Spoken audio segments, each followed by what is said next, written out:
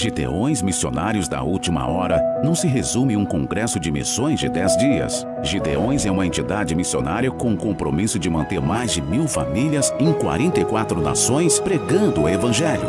A eternidade revelará as milhares de almas já salvas. Gideões realizam também o trabalho social mantendo escolas, orfanatos, leprosários, barco clínica e outros projetos sociais. Faça parte desta obra missionária. Gideões, unindo o Brasil para evangelizar o mundo.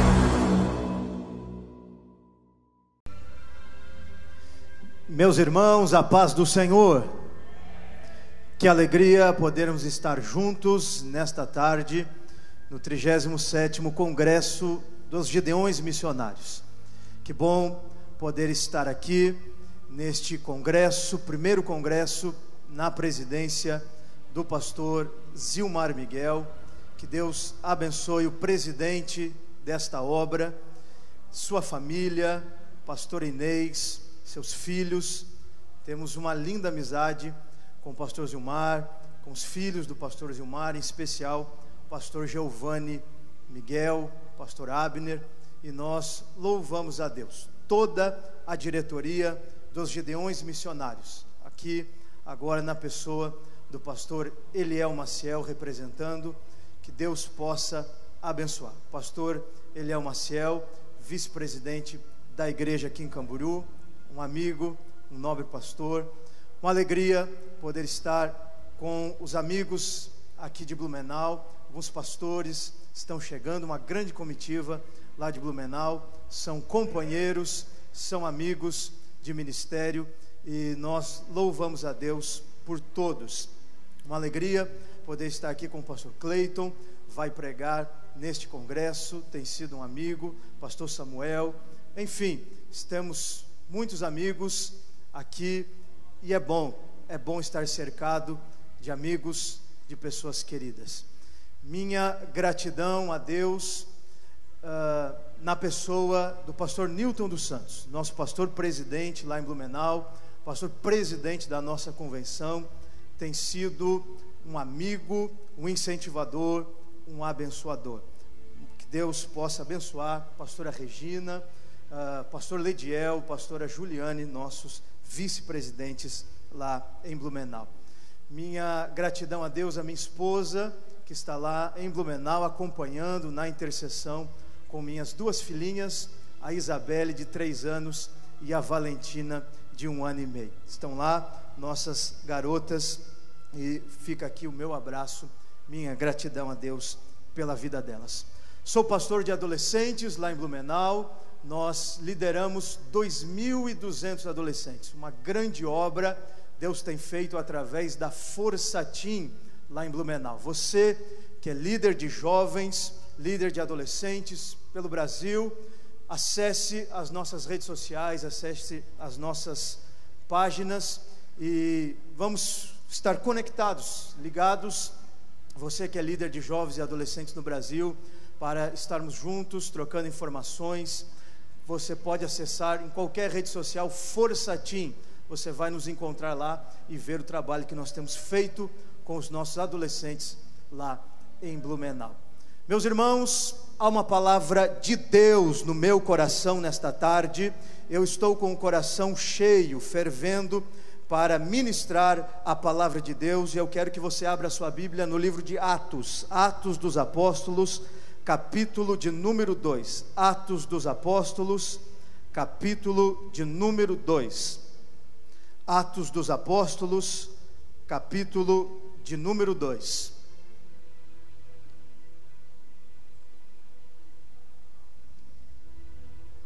Atos dos Apóstolos, capítulo de número 2. Versículo de número 1 um, diz assim: a palavra de Deus. Cumprindo-se o dia de Pentecostes, estavam todos reunidos no mesmo lugar de repente veio do céu um som, como de um vento veemente e impetuoso, e encheu toda a casa onde estavam assentados.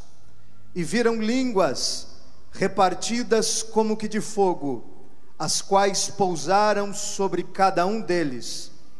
Todos, todos, todos foram cheios do Espírito Santo e começaram a falar em outras línguas, conforme o Espírito lhes concedia que falassem. Capítulo 1, versículo 8. Capítulo 1, versículo 8 de Atos dos Apóstolos diz assim: Mas recebereis poder ao descer sobre vós o Espírito Santo, e sereis minhas testemunhas, tanto em Jerusalém, como em toda a Judéia, Samaria e até os confins da terra. Você pode sentar. Eu quero ministrar esta tarde o seguinte tema: Sereis minhas testemunhas, sereis minhas testemunhas, sereis minhas testemunhas. O que aconteceu em Atos 2? O que aconteceu no dia de Pentecostes? Já havia sido assunto na maioria das conversas de Jesus com os seus discípulos. Vejamos o que Lucas escreve no capítulo 1 e o versículo 4, quando Lucas diz: E comendo com eles, deu-lhes esta ordem: Ficai em Jerusalém e esperem a promessa do Pai. Perceba o que Lucas nos diz: e comendo com eles. Jesus, nos momentos em que estava com os seus discípulos, falava sobre o Pentecostes, prometia os, o Pentecostes aos discípulos. O Pentecostes foi assunto na maior parte das conversas de Jesus com os seus discípulos. É interessante nós percebermos que a última palavra que Jesus falou aos discípulos antes de ser assunto ao céu, a última promessa as últimas frases que Jesus falou aos discípulos aqui nesta terra foram exatamente sobre o dia de Pentecostes. Veja o que Lucas diz para nós no versículo 8. Lucas diz: Mas recebereis poder ao descer sobre vós o Espírito Santo, e sereis minhas testemunhas, tanto em Jerusalém, como em Judéia, Samaria e até aos confins da terra. Jesus nos ensina três coisas aqui. Jesus nos ensina três coisas aqui sobre o Pentecostes. A primeira, Jesus concederia poder. O Pentecostes concederia poder aos discípulos e recebereis poder. Depois do Pentecostes, acontecem milagres, maravilhas, a igreja recebe poder para pregar. A segunda coisa, o Pentecostes faria uma mudança geográfica na igreja. O Pentecostes faria uma mudança geográfica na igreja. Jerusalém, Judéia, Samaria e confins da terra. De Jerusalém até aos confins da terra. A igreja se espalha, a igreja se expande, a igreja se estende. Percebam que homens simples, humildes pescadores, na maioria deles, conseguiram chegar aos confins da terra. A maioria dos discípulos nunca tinham feito grandes viagens, eram pessoas locais e chegam aos confins da terra. O Pentecostes os concede isso. Em terceiro lugar, o Pentecostes daria um propósito de vida. O Pentecostes daria um propósito de vida. E ser-me-eis minhas testemunhas. Depois do Pentecostes, eles recebem um propósito, uma missão para viver. Seriam testemunhas pelo restante dos seus dias. Sempre estavam trancados com medo antes do Pentecostes. Sempre você vai ver os discípulos enclausurados, com medo, trancados. Após o Pentecostes, eles estão de rua em rua, de cidade em cidade, de vila em vila, de país em país, fazendo o quê? Pregando, testemunhando. Agora eles eram testemunhas, eles tinham um propósito de vida. Este é o propósito do Pentecostes. O Pentecostes aconteceu por este propósito: tornar, transformar os discípulos em testemunhas de Jesus. Tudo o que aconteceu em Atos 2, tudo o que aconteceu no dia de Pentecostes, foi para habilitar, munir os discípulos como testemunhas de Jesus. Essa transformação deles como testemunhas no dia de Pentecostes me faz lembrar do que Jesus disse para Pedro: Pedro, eu vos farei pescadores de homens. Eu vos farei pescadores de homens. Se nós formos perceber, nós vamos analisar que a mentalidade dos discípulos e da igreja no dia de Pentecostes, ela foi alterada. O Pentecostes causou uma mudança de mentalidade nos discípulos e na igreja. Quando a Bíblia vai nos dizer que em Atos 4, o primeiro milagre, o primeiro milagre realizado após o Pentecostes, o sinédrio prendeu Pedro, o sinédrio prendeu João, prenderam os discípulos. E após este dia, eles disseram: Vocês não podem pregar sobre o nome de Jesus, vocês estão proibidos de falarem, de pregarem sobre o nome de Jesus. A pior coisa que se pede para um crente é que ele não fale mais sobre Jesus. Não pede para um crente não falar mais de Jesus.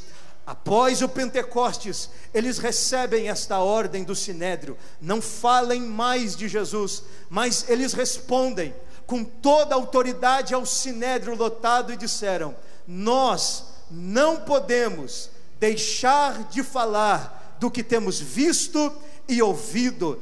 Podem nos prender, podem nos bater, mas nós continuaremos falando do nome de Jesus. Perceba a mentalidade que o Pentecostes causou nos discípulos. Quando Pedro e João voltaram de estarem presos naquele dia, eles encontraram uma igreja orando, eles encontraram uma igreja intercedendo, e veja quais são as palavras da igreja naquele dia. Agora, ó Senhor, olha para as suas ameaças e concede aos teus servos que falem com toda ousadia a tua palavra, enquanto estendes a mão para curar e para que se façam sinais e prodígios pelo nome do seu santo filho Jesus. Tendo eles orado, moveu-se o lugar em que estavam reunidos, e todos foram cheios do Espírito Santo e com ousadia pregavam a palavra de Deus. Em todos os capítulos de Atos dos Apóstolos, nós vamos ver uma igreja recebendo o Espírito e o Espírito os impulsionando a pregar o Evangelho. Percebam que em 30 anos de missões, em 30 anos de obra missionária em Atos dos Apóstolos, o Evangelho já tinha alcançado os centros mais importantes do mundo.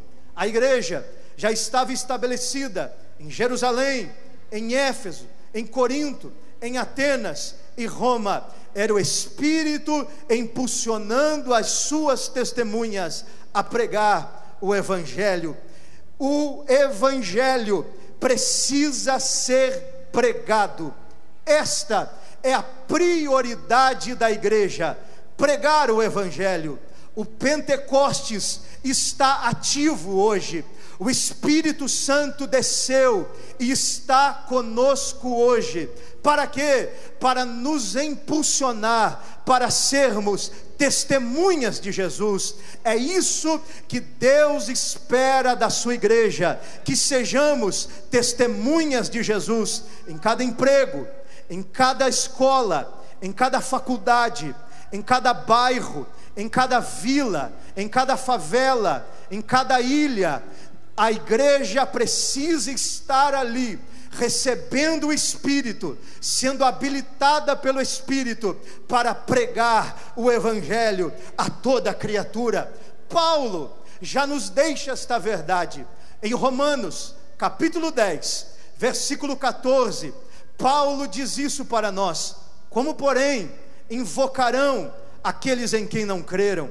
E como crerão naquele em que nada ouviram? E como ouvirão se não há quem pregue? E como pregarão se não forem enviados? Como está escrito: quão formosos são os pés daqueles que anunciam coisa boa. A igreja é testemunha. Pregue, pregue o evangelho. Jesus já deixou essa ordem para a igreja no livro de Marcos, capítulo 16, versículo 15 Vão, vão por todo o mundo e preguem o Evangelho a toda criatura. Quem crer, quem crer e for batizado será salvo. Quem não crer já está condenado. Mas nós, nós precisamos nesta tarde aprofundar-nos dentro do dia de Pentecostes e vermos como foi esse processo transformador dos discípulos em testemunhas. Me acompanhe comigo, vamos ver como foi esse processo de transformação dos discípulos no dia de Pentecostes. Se nós abrirmos a Bíblia para vermos como foi o dia de Pentecostes, Lucas começa nos narrando assim: E cumprindo-se o dia de Pentecostes, e cumprindo-se o dia de Pentecostes, dia, dia, que dia que aconteceu, que dia que ocorreu, foi no dia de Pentecostes. Pentecostes significa exatamente 50, era a festa que ocorria 50 dias depois da Páscoa. Provavelmente este dia de Pentecostes ocorreu em mês de maio ou junho, e este era um domingo, o dia de Pentecostes era um domingo. Essa festa, a festa do, do Pentecostes, o dia do Pentecostes, era a festa das colheitas, ou a festa das semanas, que os judeus recebem para celebrar. Pentecostes é um nome grego, mas originalmente esta festa se chama a festa das semanas. Os judeus tinham três festas para irem obrigatoriamente a Jerusalém. A primeira, a festa da Páscoa. A segunda, a festa do Pentecostes. A terceira, a festa do, dos tabernáculos. A festa do Pentecostes estava acontecendo e tinha que ser nesse dia. Tinha que ser nesse dia, para o Espírito descer e transformar os discípulos em testemunhas. Há uma mensagem aqui atrás deste dia. Tinha que ser nesse dia, porque este era o dia que tinha mais viajantes. Das três festas, o Pentecostes era a festa que recebia mais viajantes estrangeiros em Jerusalém. O Espírito desce no, exatamente no dia em que os viajantes estavam para espalhar o Evangelho, Deus revela aqui o plano dele em alcançar os confins da terra. Tinha que ser nesse dia, porque começou agora a colheita de almas. Tinha que ser nesse dia, porque começou agora a colheita de almas. A festa do Pentecostes celebrava a colheita de grãos, trigo e cevada. começou a colheita, o Espírito iria descer, o Evangelho seria semeado e a colheita de almas iria começar. Tinha que ser nesse dia, porque começou o trabalho, a obra da igreja, o trabalho da igreja iria começar naquele dia. A festa do Pentecostes começava quando a foice era lançada sobre a espiga, quando a foice era lançada, começava a festa. O Pentecostes inauguraria o trabalho da igreja. Jesus Cristo já havia dito para os discípulos: os campos estão brancos para a ceifa rogai ao Senhor da seara para mandar ceifeiros à sua seara. Jesus já tinha falado aos discípulos: vocês dizem que ainda há quatro meses para a colheita, eu, porém, vos afirmo: erguei os vossos olhos e vede, porque eles estão brancos, brancos para a colheita. Tinha que ser no dia de Pentecostes, porque esse era o dia que os discípulos estavam reunidos, reunidos. O Espírito iria descer e se manifestar no coletivo. O Espírito iria descer para celebrar a unidade do corpo de Cristo tinha que descer no dia em que eles estavam juntos, no mesmo propósito. Ninguém é testemunha sozinho, ninguém é testemunha solitário, por mais que você esteja pregando sozinho em um campo missionário longínquo, distante, mas você não está sozinho. Testemunha nunca está sozinha. Por trás tem uma igreja que ora, por trás tem uma igreja que contribui, por trás tem uma igreja que ajuda. Pentecostes desce para celebrar a unidade do corpo de Cristo. Mas aquilo aconteceu de repente de repente, é lindo isso, porque não tem ensaio, foi sem aviso, foi sem anúncio, foi quase um susto para os discípulos. Foi de repente, o Pentecostes acontece de repente, e a Bíblia diz: de repente veio do céu, de repente veio do céu, veio do céu. O que estamos precisando é algo do céu. O que nós estamos precisando que aconteça todos os dias é algo do céu. O que eu estou pregando para vocês esta tarde é algo do céu. Gideões missionários é algo do céu. A obra de Deus é do céu e veio do céu. Nós não queremos algo fabricado, nós não queremos algo manipulado, nós não queremos algo programado, nós não queremos algo inventado, nós não queremos algo articulado, nós queremos algo do céu. E veio do céu. Do céu desceu o maná, do céu o fogo desceu para queimar o sacrifício de Elias, do céu veio a nossa salvação, Jesus Cristo, é do céu céu que vem o nosso socorro. Jesus foi batizado e ele ouviu uma voz dos céus. As testemunhas levam ao mundo algo que recebe do céu. A testemunha vai ao mundo e impacta o mundo, porque o que ela recebe é algo do céu e veio do céu. Aleluia. O céu está aqui nesta tarde. O céu está aqui nesta tarde.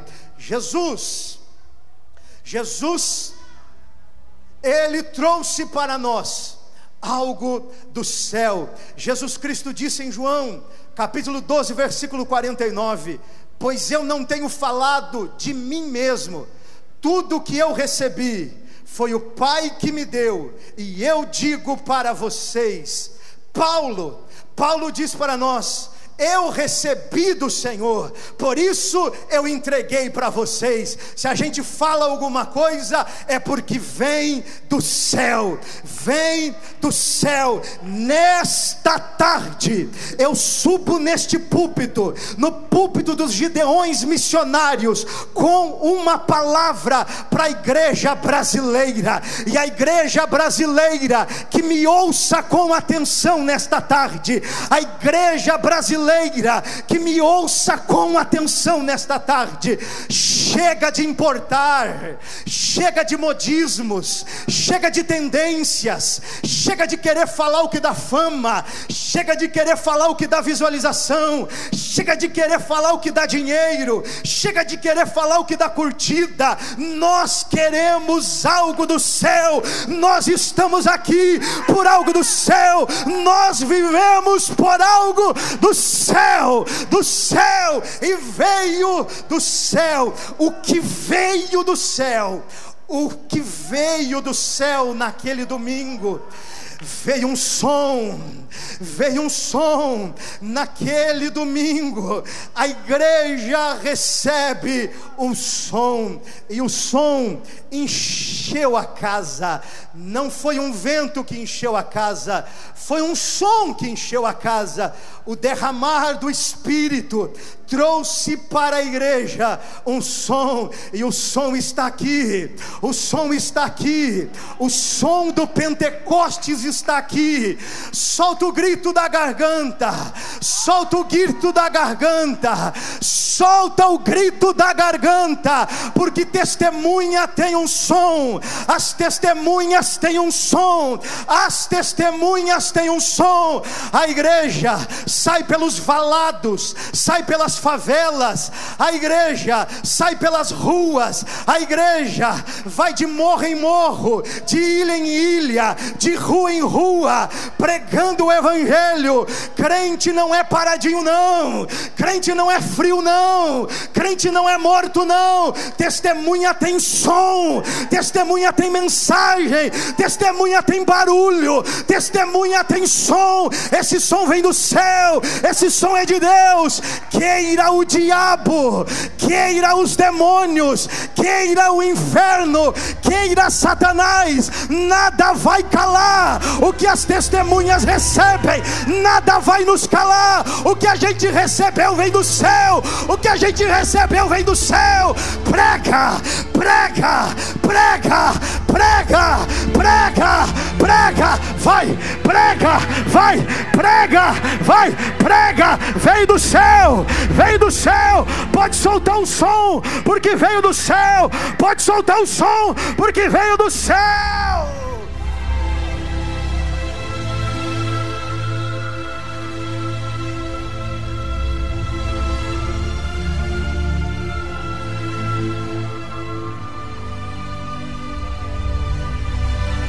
Chukikalaploti hamanakasuia lamanohai.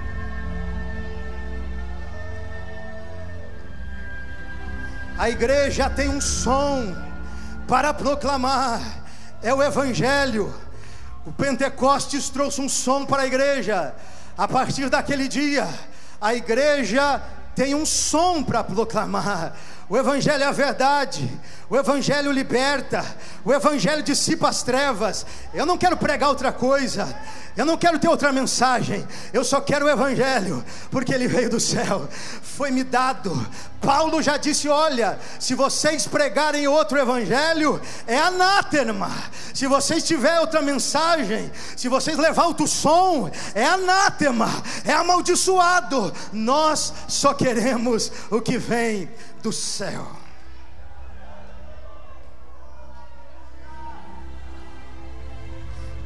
As testemunhas naquele domingo pela manhã receberam do céu um som.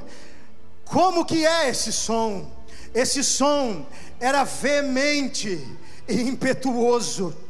Este som era veemente e impetuoso o som das testemunhas, a mensagem, ela é veemente, é impetuosa, nada para a nossa mensagem, nada para a mensagem do Evangelho. O que é veemente? Veemente é algo que possui uma força impetuosa, intenso, ardente, enérgico, forte, vigoroso. O que, que é impetuoso? Aquilo que tem ímpeto, se move com rapidez, nada consegue parar e deter o som, o evangelho, nada para. Paulo já disse em Romanos, capítulo 1, versículo 16: porque o evangelho é o poder de Deus, o evangelho é o poder de Deus. No capítulo 7, tentaram, tentaram parar o evangelho, tentaram matar Estevão, perseguiram a igreja, no capítulo 8 de Atos, perseguiram a igreja, mas sabe qual foi o resultado da perseguição da igreja?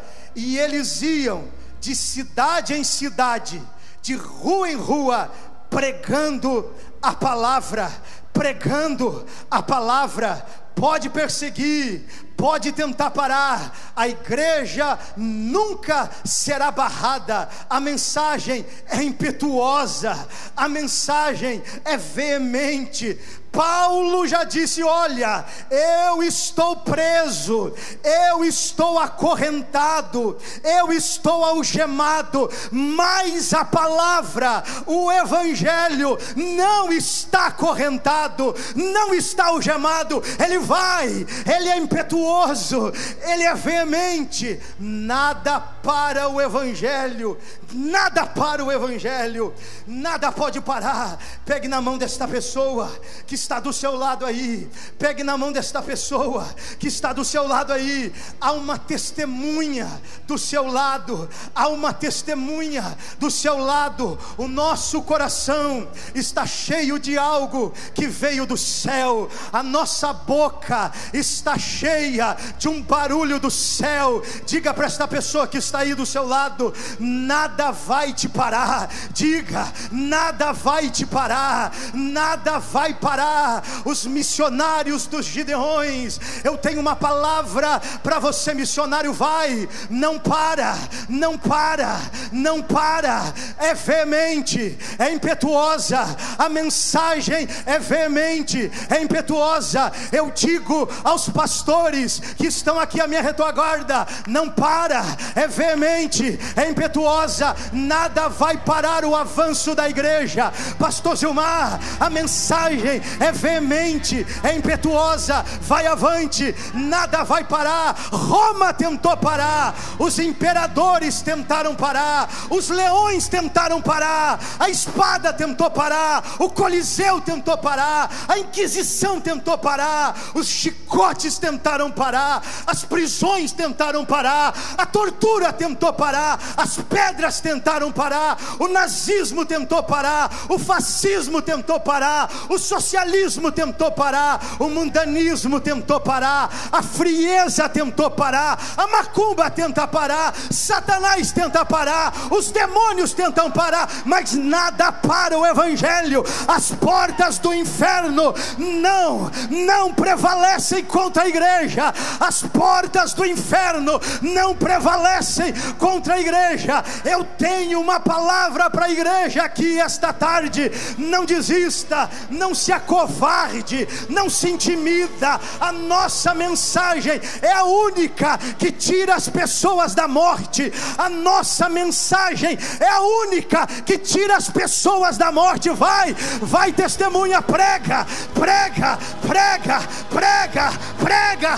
Vai, vai, enche o seu coração do som do céu, receba fogo do céu, receba fogo do céu. Vai testemunha, vai para casa salvando o marido, vai para casa salvando o filho, vai para a escola, vai para a faculdade, vai para o emprego, vai para o trabalho, vai para a igreja. A nossa palavra ninguém para, ninguém detém, é a palavra da igreja.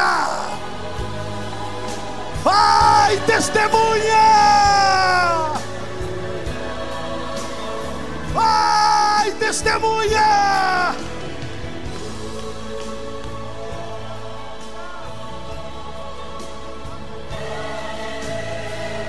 Vai, testemunha! Vamos ficar de pé, vamos ficar de pé, vamos ficar de pé. Xalapombi cantoriai antoramai. Há um som do céu enchendo este pavilhão esta tarde. Oh, aleluia! Oh, aleluia! Vai, testemunha! Vai, testemunha! É o nosso tempo, é a nossa hora. Igreja, é o nosso tempo, é a nossa hora. Vai, é o nosso tempo, é a nossa hora. Prega, testemunha, vai. É o nosso tempo, é a nossa hora, é a nossa vez, é o nosso momento. Vai, prega. Há um som nos seus lábios, há um som na sua, na sua boca. Vai, vai, vai. Pegue na mão do irmão que está do seu lado. Nós vamos orar esta tarde. Nós vamos orar esta tarde. O Espírito Santo que encheu aquelas testemunhas de coragem vai te encher de coragem esta tarde. Vai te encher de coragem esta tarde.